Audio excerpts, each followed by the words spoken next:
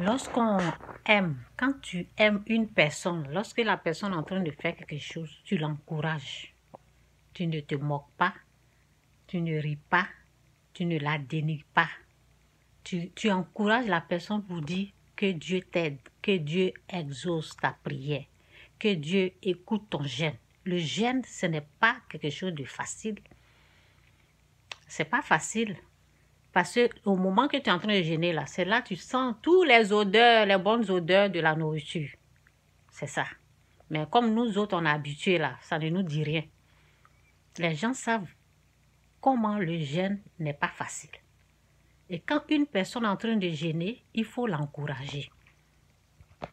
Il ne faut pas se, se, focaliser sur sa forme pour dire oui, pourquoi tu maigris? Et vous m'aimez tant, vous m'aimez hypocrite. C'est ça. Quand les gens sont hypocrites, là, c'est comme ça. Derrière toi, c'est autre chose.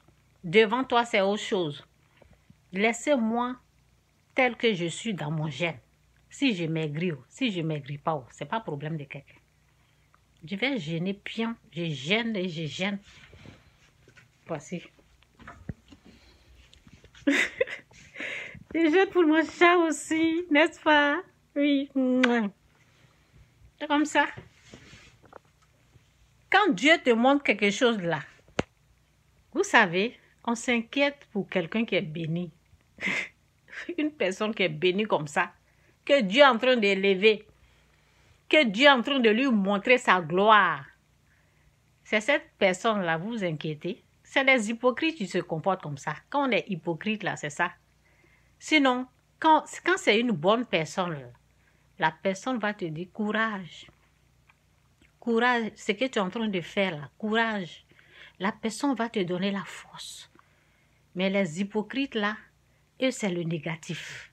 C'est pour que tu, tu te focalises sur ce qui est négatif, pour que tu arrêtes de faire ce qui est bien pour ta vie, pour tes enfants, pour les autres. Parce que quand tu trouves quelque chose là, tu vas aider les autres avec ça. Tu vas leur dire, voici ce que j'ai fait, voici ce que Dieu m'a montré. Toi aussi, tu peux faire pour être délivré parce que j'ai passé par là.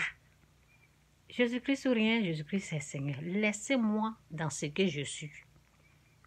Ça ne vous regarde pas. Ça ne regarde pas quelqu'un si je maigris, si je ne maigris pas. C'est ça. Je vais gêner.